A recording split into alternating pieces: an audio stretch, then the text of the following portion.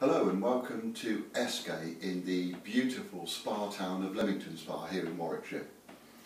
I'm here today to speak to Amy Selby, Managing Director of this multi-award winning uh, day spa and beauty salon and to get her views on uh, hydrothermal, its usage in her business and to find out uh, how she makes everything work.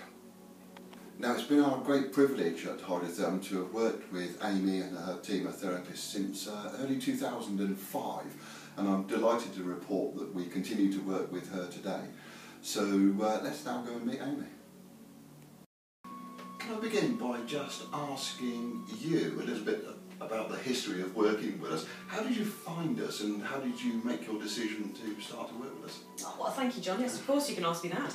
Um, we basically always like to look at um, new concepts within the industry, and although I'm aware that hydrotherm had been around before we took it on, um, it came into our um, radar, if you like, um, end of 2004, beginning of 2005.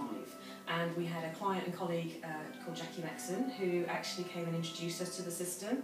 Um, it was fantastic to see, um, and having experienced a treatment, I could really see the benefits it would give to clients and to staff as well. So we were thrilled to find it. So can you just explain a little bit about how the system's used in your business? Because I think you're a little bit unusual in the decisions that you made um, in, in, terms of, uh, of how many treatment couches you have it on and the levels that you have with your therapist trained to. Absolutely. So we have um, uh, 12 different treatment rooms here in the salon and um, nine of those are um, therapy couch rooms, so not including tanning, things like that. Um, and on every single one of those beds we have a hydrotherm system installed. So we made that um, choice to have that, not only because we could deliver the fantastic hydrotherm massage on those couches, but because uh, we chose to leave them on the beds and that whatever treatment the client was experiencing, be it waxing or electrolysis or a pedicure, they were actually enveloped by the warmth of the cushions, they would get the relaxation, there isn't a day goes by I don't have a client who might come in for a non-relaxing treatment who gets on the bed and goes, oh, this is just wonderful. And we wanted to replicate that in all of our treatment rooms. So the decision to install hydrotherm onto all of your treatment couches, that, uh, that was quite a big commitment in both time and finances. I'm interested to understand why you came to that decision immediately from the start. Well, for us, we're fortunate enough that the business, we've been in business for a long time, since uh, 1998, and so the cash flow was there to allow us to do it, and that obviously always helps. Um, but also, um, I think if you're going to do it, you do something properly, um, and we didn't want a varying customer journey, so we wanted every customer who came in to have the same um, benefits in each treatment room.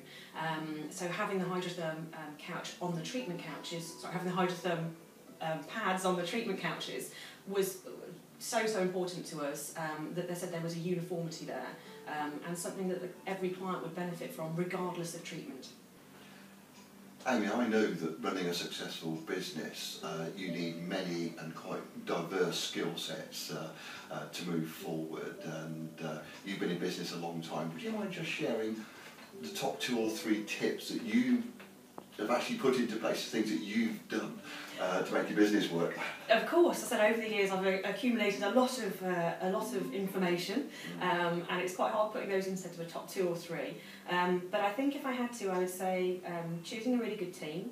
And then growing and developing that team, so continuing the training, which we've just touched on anyway, um, not just specific treatment training, but also growing personal skills um, and um, just not, not stopping investing um, in your team and yourself very important.